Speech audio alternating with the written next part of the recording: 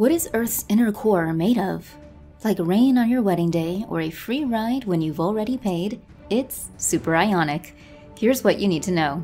Earth's inner core is neither solid nor liquid, according to a new study in the Nature Science journal cited by Science Alert. It's in what is known as a super ionic state. Scientists from the Chinese Academy of Sciences used computer simulations of how seismic waves would travel through different combinations of elements to calculate that hydrogen, oxygen, and carbon and hexagonal close-packed iron become superionic under the intense pressure and high temperatures of the inner core, meaning that while iron atoms remain solid in a crystalline lattice structure, the lighter carbon, hydrogen, and oxygen molecules diffuse through it, creating a liquid-like element. According to Science Alert, the superionic state could also be found at the heart of other planets in the form of superionic ice. Here, high temperatures and pressures break apart water molecules, leaving the oxygen ions to form a solid, while the hydrogen ions float around more like a liquid. And it's speculated that movement of the hydrogen flowing through the oxygen lattice could impact the surrounding electromagnetic field and perhaps help form a planet's protective magnetosphere. The latest study of Earth's core follows quickly on from a separate study last month that found Earth might be losing its heat faster than previously estimated, because Earth's core is better at radiating the core's heat outward than previously thought. The Science Direct study simulated conditions in the Earth's core by creating a mineral called bridgmanite, which only exists in the inner parts of the planet, and found that the mineral's thermal conductivity was 1.5 times higher than previously estimated. The Earth's inner core is growing unevenly. Here's why that process will eventually destroy us all. Earth's inner core grows 1 millimeter in radius per year, but its east side, beneath Indonesia, is growing faster than its west, beneath Brazil, because it is cooling at a faster rate, causing more iron crystals to form, according to a study in Nature Geoscience. The conversation explains that when Earth was formed, a lot of heat was captured within the planet, and as this has slowly escaped, the inner core's temperature has dropped below the melting point of iron, causing the formation of the crystals. Because of lower temperatures around the east side, iron crystals form more quickly.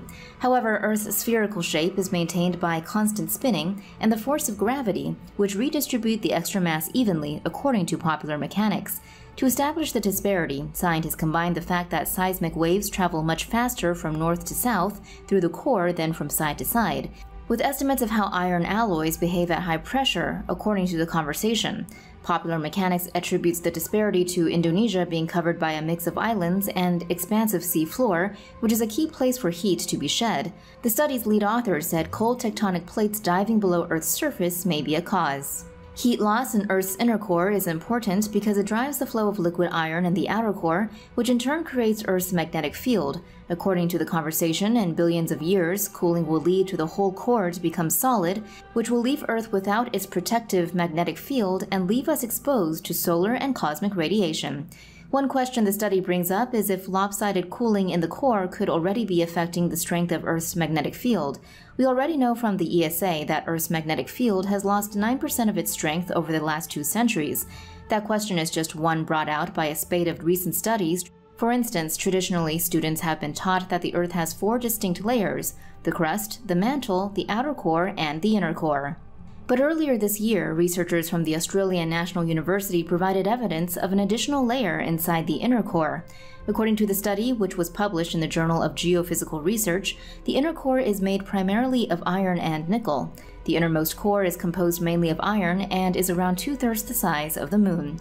The authors of that study said this suggests that some sort of cataclysmic and previously unknown event occurred early in the Earth's history, perhaps as early as 4.5 billion years ago.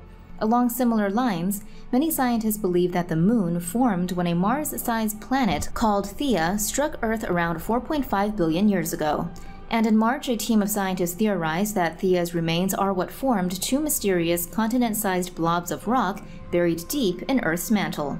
For decades, seismologists have puzzled over these two blobs, which sit below West Africa and the Pacific Ocean and straddle Earth's core like a pair of headphones.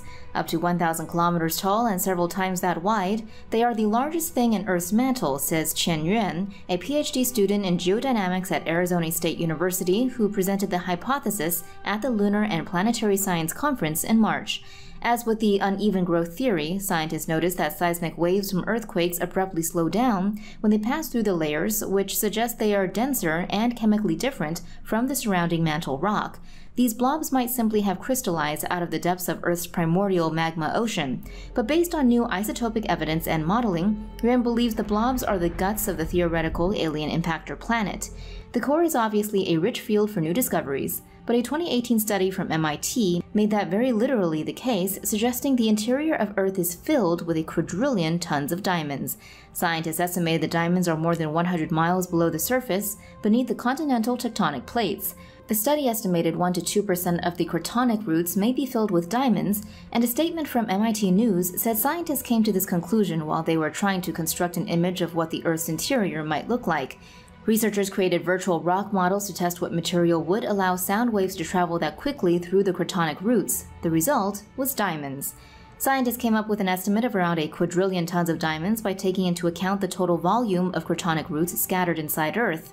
Finally, 2019 research found that roughly every 10 years, a phenomenon dubbed geomagnetic jerks causes Earth's magnetic field to change, and the core might be responsible. As previously mentioned, Earth's magnetic field is generated from the core and serves as a protection against solar and cosmic radiation. Whenever there is movement in the core, Earth's magnetic field shifts. When these movements occur suddenly, they are called geomagnetic jerks. According to a 2019 study published in the journal Nature Geoscience, Earth's sudden magnetic shifts may be caused by floating blobs of molten matter originating from the depths of the Earth's core. The team of researchers developed a computer simulation that mimics movements on the Earth's outer core over several decades, effectively recreating the conditions that take place right before a geomagnetic jerk will happen. The European Space Agency, or ESA, reports that clusters of spacecraft it had launched in recent years are showing that solar radiation is interacting with the Earth's core to create harmful electromagnetic microstorms on Earth. Scientists took data from a cluster of four ESA satellites orbiting far away from Earth and combined it with data from a trio of ESA satellites that orbit close to Earth to measure magnetic signals emanating from Earth's core, crust, and oceans. The data showed that an electromagnetic phenomenon called bursty bulk flows in outer space is connected to intense magnetic field fluctuations near Earth's surface. Bursty bulk flows are bursts of ions that travel at a whopping 150 kilometers per second. The new data shows that the fluctuations near Earth are connected to field aligned currents high above Earth that contain these fast moving bursty bulk flows. Scientists say they can now confirm that intense magnetic field perturbations near Earth are connected to the arrival of such bursty bulk flows farther out in space. For more news animations and explainers, hit the subscribe and bell button to join the Tomo News family. Thanks for watching.